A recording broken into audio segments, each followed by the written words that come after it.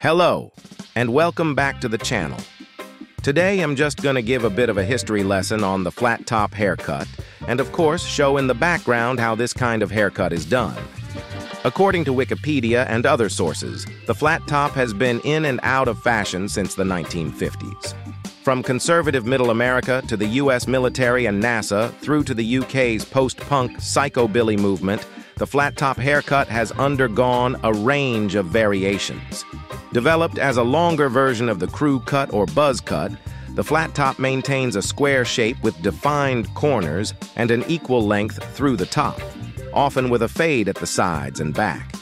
By the 1980s, the haircut saw more extremes, with a longer quiff fringe area graduating down to an almost shorn crown, or even a narrow strip of gelled up hair at the front hairline, combined with a shaved skull. In 1980, Grace Jones and then boyfriend Jean Paul Goude collaborated on the cover and artwork for Warm Leatherette. It featured her signature flat top, high top hair. In the hip hop community throughout the mid 1980s, young African Americans leaned towards Jheri curls or simple haircuts without tapers or fades. In 1986, rappers like Schoolly D and Doug E. Fresh had the first, somewhat developed, styles of the high top fade in hip hop.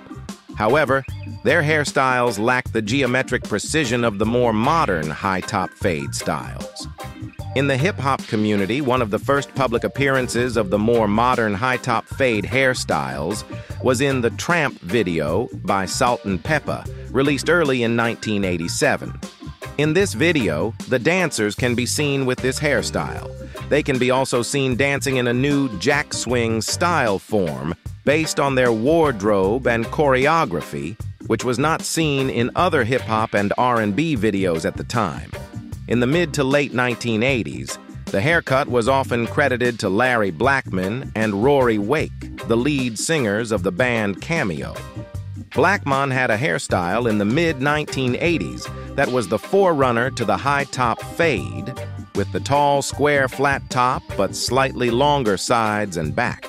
There are numerous examples of rappers referring to the hairstyle as a cameo cut between 1987 and 1990, the most notable being in the Ultramagnetic MC's song Give the Drummer Some from 1988 where Ced-Gee, who had a high top fade at the time, says, Cause I'm a real pro with a cameo and not an afro. So there you have it. If you never know now, you have a bit more info about the flat top haircut. I just want to give a thumbs up to all these various groups and individuals who shape this craft. But much more credit to all you great barbers out there who continue to work hard, day in and day out to improve the craft. That's all for today, guys. Please continue watching and don't forget to subscribe to the channel. Thanks and have a great day out there thank you.